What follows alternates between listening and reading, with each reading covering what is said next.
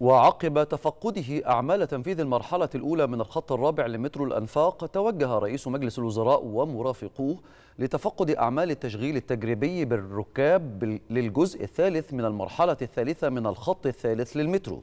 وأكد رئيس الوزراء خلال الجولة على الاهتمام الذي توليه الدولة لتطوير كافة وسائل النقل الجماعي وفق أحدث النظم ضمن تكليفات الرئيس السيسي بالعمل دوما على تحسين خدمات النقل الجماعي للمواطنين.